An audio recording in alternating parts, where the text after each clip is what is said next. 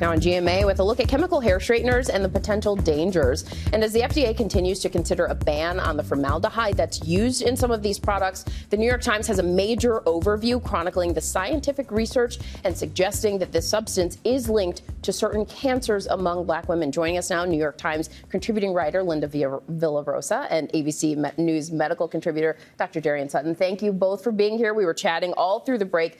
Linda, you started this years long investigation and you were just interested because you've you've been there. You've gotten a perm before. You in your grandmother's chair in the house. We've been there before. Tell me what you found.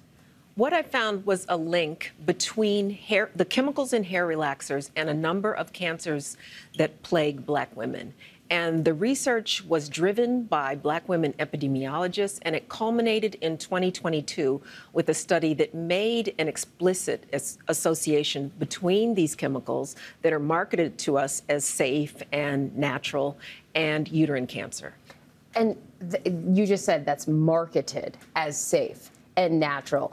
Dr. Darien, how, how, Tell us about the potentially concerning, what's potentially concerning about those ingredients in hair straighteners. Well, Janae, I think it's the chemicals themselves, as, as Linda in her writing uh, explained. When you look at the chemicals like formaldehyde and methylene glycol, we know from science that these chemicals have a known association to the increased risk of cancer and disrupting the natural hormone balance within the body.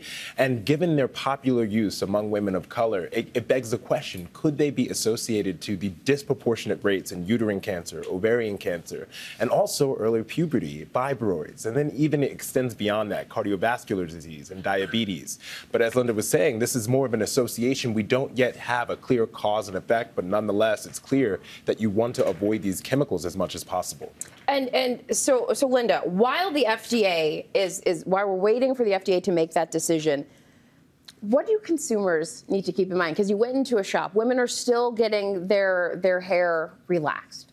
I think what you should think about is lowering your toxic burden on your body. So that means if you choose to use a hair relaxer, don't use it as often. And also be cautious because the problem really is burns and abrasions that allow the chemicals to enter your scalp.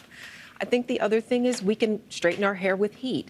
And as the growing natural hair movement has shown, uh, we can wear our hair and we have many different options, and every option is beautiful. Oh, and come on, girl, you are showing us with the cornrows this morning. I was telling you how much I love it. I love it. I've got the curls. Dr. Sutton, you look amazing too. What? Tell me though about the challenges, because I mean, in in society, we have long suspected mm. this correlation, mm. but it's hard to point to it. The so FDA hard. is looking into it, but why?